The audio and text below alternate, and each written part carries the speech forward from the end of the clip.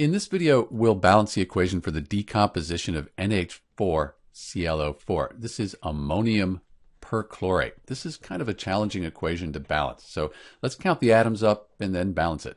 We have one nitrogen, four hydrogens, one chlorine, and then four oxygens.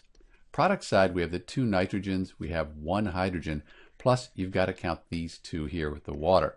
That gives you three, one chlorine, and then two oxygen atoms.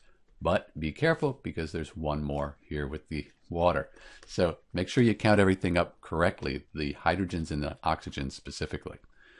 So let's leave the nitrogen and the oxygen till last because these are by themselves. Those will be easy to fix. Looks like we could fix the hydrogen here if we were to put a 2 in front of the HCl. So let's update this. 1 times 2 is 2, plus we have the 2 here with the water. That'll give us 4. Now we have 1 times 2 though, so we have 2 chlorine atoms. Might as well just put a 2 in front of the ammonium perchlorate. 1 times 2, that gives us 2 of the nitrogens. The 4 times 2, 8 hydrogens. 1 times 2, so that does balance the chlorines, even though the hydrogens aren't balanced now.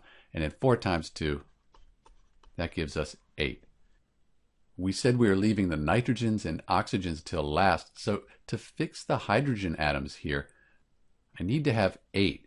So 2 plus 6 would give me 8. I think I'm just going to put a 3 here. So I have the 2 plus 3 times 2 is 6. That gives me 8. And that still keeps the chlorine atoms balanced as well. I do need to update the oxygen atoms though. So I have two oxygen atoms plus the 3 times the 1, 3, and that gives me 5. And then here is where it gets a little confusing. How do I get 5 and 8? How do I balance these without messing everything up? So what I want to do is just work with this oxygen here, because if I change this, it won't change anything else, the nitrogens, hydrogens, or chlorines. So if we think about the coefficient here, something times 2 plus the 3 would give me the 8. That would be balanced.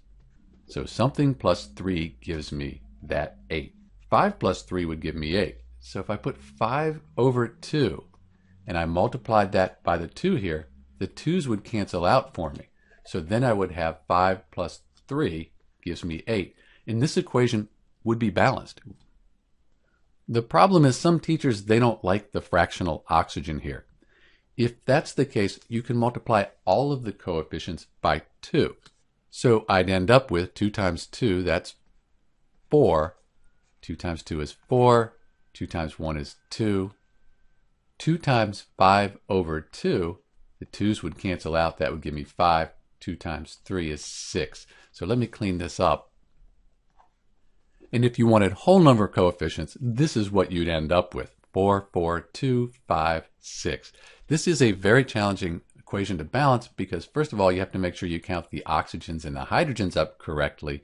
And then you get to this situation where you need to use a fraction to get the oxygens to balance out. This is Dr. B with the balanced equation for NH4ClO4 decomposing. This is ammonium perchlorate. When it decomposes, it produces all of these are gases. I think all of these are gases, so it can be quite explosive. Thanks for watching.